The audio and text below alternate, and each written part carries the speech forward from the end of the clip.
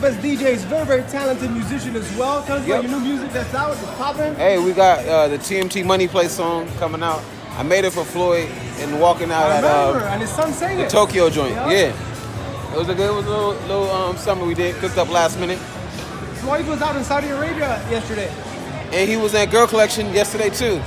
That's how fast he was flying. I was tripping out. Walked up to me and said he made two million dollars just to eat some food. I was like, yeah, all right. He's How like, crazy yeah. that? Hey, hey, have a sandwich, here two mil. People don't do that Exactly, their right? lifetime. you know, in New that. York, there- there's a little bagel that they make with a little flake, uh, uh, gold, 24 karat gold flakes or whatever. Oh yeah, the little Two- sorbet. Yeah, two, yeah, yeah, like two thousand dollars. That's crazy. That two racks. I, I And they pay him two million to eat, That's chew and drink. And, and they paid him 15 million to slap a kid around for a little bit. How Bro, if you was there, if you were there, you would you would hear the punches uh-huh. like sound like claps. It was so loud, bro. Wow. I was like, 40,000 people. yo, and it was crazy because they were there since 8 a.m. They were there since 8 a.m. When I went there, remember we were early in the day 8 a.m. to what? till midnight, almost Midnight, midnight. yep. Wow. Right before that they is crazy. waiting on Floyd to get there. That's 16 hours. 40,000 people. Um, I gotta ask you this. Mayweather's gonna be here tonight. Floyd will be here. Yeah. Manny Pacquiao's fighting Adrien Broner. Give me your assessment. Um, I'm gonna tell you this: if if, if Adrien pull this off, Adrien back where he is. If he lose, that he's an Andre Berto.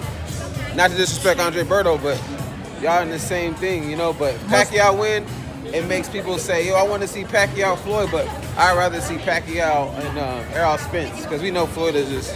Okay, Errol Spence, great fight, big fight. Mi- Mikey, four division champion. What do you think? Uh, Errol, Errol, Errol's gonna stop. Gonna stop him. Errol's one of the best. He's the best. Um, 147 right now, hands down. And he'll and he'll. Uh, I think he'll stop Terrence Crawford easily. Okay, Not one. easily, but it's uh, like a like it, it'll be Well, a all Crawford's fighting Amir. Khan. But I gotta ask you this one. Gervonta Tank Davis, Abner Mares, February 9th. Tank is gonna run through him. That's a little. That's a little Mike Tyson. And just like Tank said, he hit harder than uh, uh um, um. Wilder. Pop about. Okay, tell people where to follow you. At J Bling, and at uh, I'm everywhere. Find your boy, and uh, let's get it cracking. And I gotta tell people, hey Jose, one of the nicest people you'll meet, regardless, celebrity, not celebrity, cool. Just very down to earth, very like normal.